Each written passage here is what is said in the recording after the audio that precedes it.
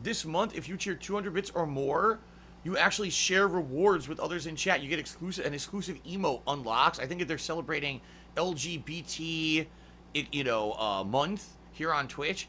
I'm gay, I'm gay, I'm gay, we're totally gay. But I have my own emote with the rainbow. Whee! So if you guys want to use that, but uh